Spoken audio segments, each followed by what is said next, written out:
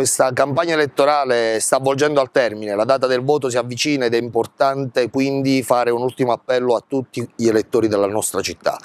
Eh, è stato un mese e mezzo intenso, abbiamo girato ogni centimetro della nostra realtà per parlare ai nostri concittadini e portare avanti la nostra proposta programmatica, una proposta programmatica che consta di 10 punti di cose realmente fattibili, che partono dalle piccole cose, da quelle più necessarie ed immediate a quelle più grandi. Pensiamo all'abbattimento delle barriere architettoniche, alla riqualificazione di Bucaletto che da troppi anni aspetta una risposta, al miglioramento dei trasporti e della viabilità per le zone rurali che per tanto tempo sono state considerate zone di Serie B. Noi abbiamo intenzione di non lasciare indietro nessuno. Tutte le zone della città avranno pari dignità, dal centro storico alla più estrema periferia, ma guarderemo anche con attenzione allo sport, alla sicurezza, al trasporto pubblico locale e a tutta la cura del verde, alla riqualificazione delle aree degradate perché riteniamo che Potenza debba essere innanzitutto una città normale. Il nostro appello lo rivolgiamo a tutti i potentini, a tutti i moderati, a tutti i cattolici